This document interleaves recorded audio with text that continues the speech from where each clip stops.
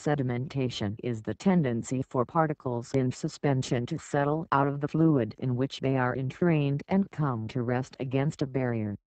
This is due to their motion through the fluid in response to the forces acting on them.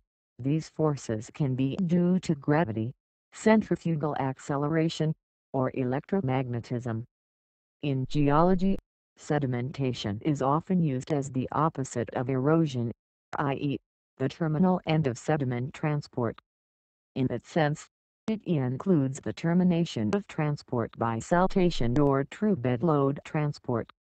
Settling is the falling of suspended particles through a liquid, whereas sedimentation is the termination of the settling process. In estuarine environments, settling can be influenced by the presence or absence of vegetation. Trees such as mangroves are crucial to the attenuation of waves or currents, promoting the settlement of suspended particles. Sedimentation may pertain to objects of various sizes, ranging from large rocks in flowing water to suspensions of dust and pollen particles to cellular suspensions to solutions of single molecules such as proteins and peptides.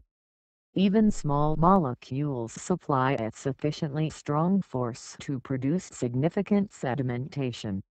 The term is typically used in geology to describe the deposition of sediment which results in the formation of sedimentary rock, but it is also used in various chemical and environmental fields to describe the motion of often smaller particles and molecules.